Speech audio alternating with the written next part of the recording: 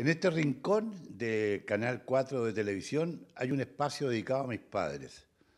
Mi madre, que acompañó por toda una vida a mi señor padre, que llegó un día desde Italia, muy joven, se integró a la primera compañía de bomberos de la cisterna. Siempre también, en lo personal, desde muy niño, me subí a los carros y acompañé a mi padre hasta el día en que dejó lo terrenal. 63 años de voluntario del Cuerpo de Bomberos de la Cisterna. Y hoy he recibido un regalo de parte del viejo Pascuero que forma parte de un momento especial en nuestras vidas. Para mi familia y en lo personal, quiero que compartan lo que viví este fin de semana, en plena Navidad, en el Cuerpo de Bomberos de Coyhaique, primera compañía. Resolución de ingreso en Coyhaique, 26 de noviembre del 2021, es presentado en reunión de compañía el postulante Rocco Martinelo Ávila para solicitar la alta de voluntario en la próxima reunión del honorable directorio general. El postulante cumple con todas las normas y reglamentaciones integrales por la primera compañía. El postulante antes mencionado ha sido aceptado en la reunión ordinaria de compañía con la totalidad de los votos a favor.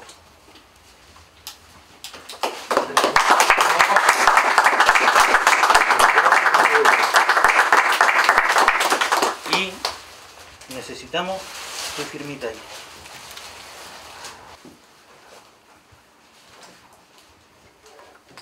Eso sería Muchas gracias. Gracias a usted y le cedo si quiere pronunciar algunas palabras. No, indiscutiblemente, bueno, este, estamos viendo al niño, que son los futuros hombres de, del fuego a, cuidar. Que ustedes cuando, cuando entran, muchos van arrancando, pero ustedes tienen que entrar donde está el fuego. Hoy día tengo el honor de, de recibir esto con mi hija, que me acompaña, pero en homenaje a mi padre. Él fue un bombero durante 65 años, llegó de Italia y muy jovencito se incorporó al cuerpo de bomberos de la primera compañía de bomberos. Siempre lo vi sirviéndose su vasito de vino con el uno levantado. Hoy día me emociona, pero me compromete también.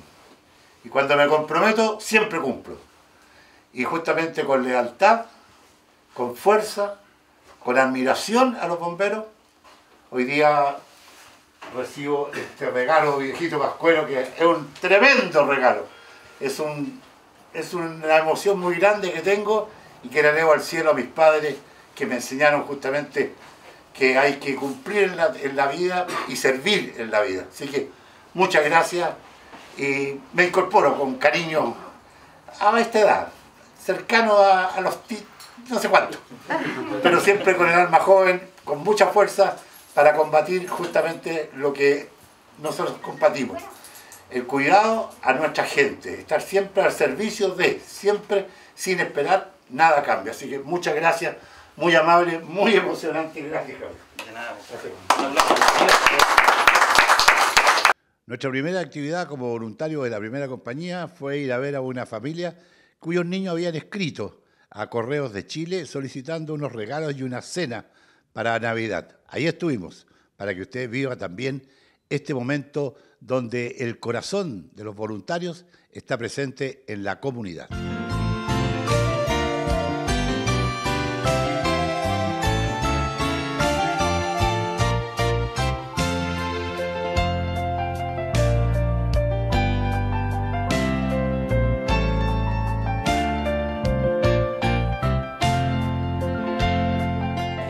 Actividad nosotros como compañía la estamos realizando hace más, de 10 años.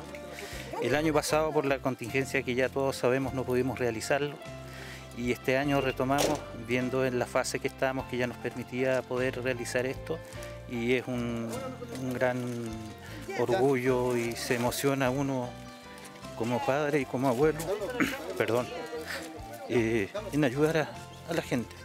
Indistintamente de nuestra labor como bomberos, también es, sumamente importante lo social para nosotros.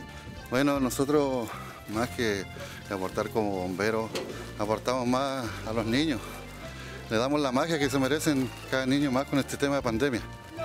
Nosotros creemos que para todos niños siempre darle este tipo de, de sorpresas es muy grato. Para mí sobre todo me, me emociona mucho y darle gracias a todos los que siempre nos apoyan más para que se cumplan estas cosas. No esperaba esto que venga, no esperaba que vengan los bomberos solo porque escribimos una carta, vinieron los bomberos a nuestra casa. Por una simple carta lleg- ah, llegaron todos los bomberos, todo. Feliz. Feliz. Muchas gracias. Cuénteme pues, cómo, cómo pilla esta sorpresa. ¡Ay, bonita! Muchas gracias a todos. ¿Ah? Muchas gracias. Y así fue. Quiero mostrarle esta foto que está ahí, después la van a ver ustedes, de muy niño junto a mi padre.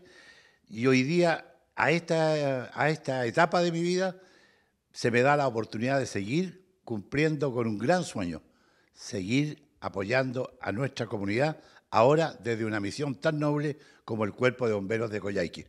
Muchas gracias a la primera compañía.